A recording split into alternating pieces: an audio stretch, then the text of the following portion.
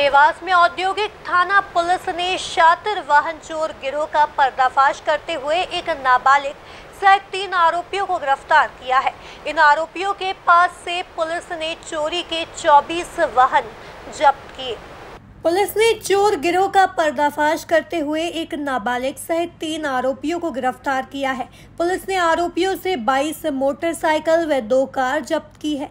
Police अधीक्षक ने बताया कि आरोपी बाइक चोरी करने के बाद जंगल में छुपाते थे और फिर मौका मिलने पर पुर्जे अलग अलग निकाल कर दूसरे वाहनों में फिक कर देते थे। उन्होंने बताया कि चोरी किए गए वाहनों की अनुमानित कीमत 40 लाख रुपए है। पुलिस अधीक्षक ने बताया कि सोनकच्च क्षेत्र के चौबा राजागीर क्षेत्र में चार पहिया वाहन संदिग्ध हालत में खड़े होने की सूचना के बाद पुलिस मौके पर पहुँची थी। इसके अंदर दो लोग बैठे हुए थे जो पुलिस को देखकर भागने लगे, जिनको घेराबंदी करके पकड़ा गया। पूछताछ में उन्होंने अपने नाम, राम भरोसे और राजा पिता केदार कलेसरिया बताया, एक अन्य आरोपी नाबालिग था, जिस कार में यह दोनों सवार थे, वह चोरी की थी।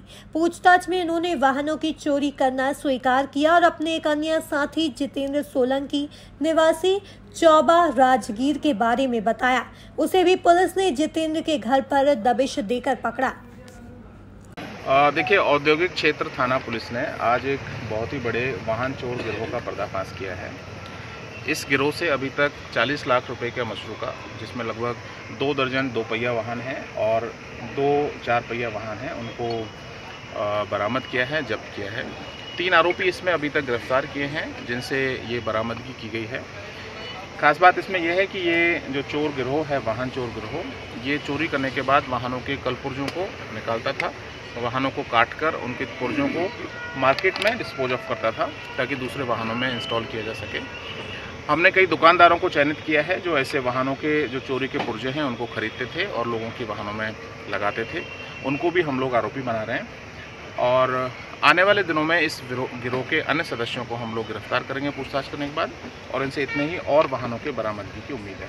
सर क्या अभी तक कोई सी दुकानदार पर कार्रवाई हुई? है हम पूछताछ में लिए हैं लोगों से। ऐसे सभी दुकानदारों के यहाँ सर्चिंग की जाएगी और ये पता किया जाएगा कि चोरी के इक्विपमेंट्स को ऑपरेटर्स को को यदि खरीद के ये जानबूझकर लगाता है तो उसको फिर आरोपी सर, देवास ज़िले में ऐसे कई सारी दुकानें जिसपे डिस्पोजल लाइसेंस नहीं है, और वो फिर भी संचालित हो रही है। क्या कहना आपका? जैसा मैंने बताया कि हम लोग लगातार इस तरह की मुहिम चलाते हैं, जिसमें यदि कोई व्यक्ति चोरी के सामान, चोरी का मशरू का या लूट का इस तरह की प्रॉपर्टीज़ को काम में लेता है, ये जानते हुए कि इसमें अपराध हुआ है तो उसको आरोपी बनाया जाता है। पहले भी इस तरह की कार्रवाइयाँ की गई हैं, अभी भी हम लगातार ये मुहिम चला के चेकिंग कराएँगे और पूरे शहर में और अन्य क्षेत्रों में भी इस इस पर कार्रवाई की जाएगी। Thank you